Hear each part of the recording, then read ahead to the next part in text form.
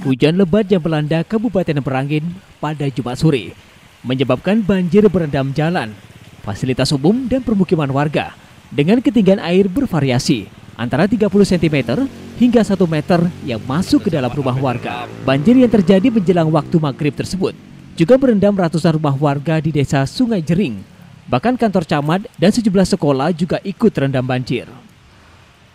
Warga setempat Fauji mengatakan, banjir selain hujan yang terus mengguyur juga disebabkan pendangkalan sungai Tabir, sehingga saat debit air naik tidak bisa menampung dan membuat sungai meluap.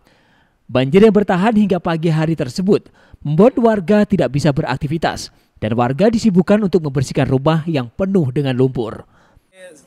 Dari sore. Rato lah. Eh, belum tahu nih. Apakah arah ke bukit sana kakek, apa ke atas ini belum tahu. Susah lah gini kak. Ke mana kita nak anu mencari kalau begini kan. Ya, harapan tuh butuh bantuan dari atasan tuh lah. Malam tadi dari sore. Lut Hidayat, Jambi TV.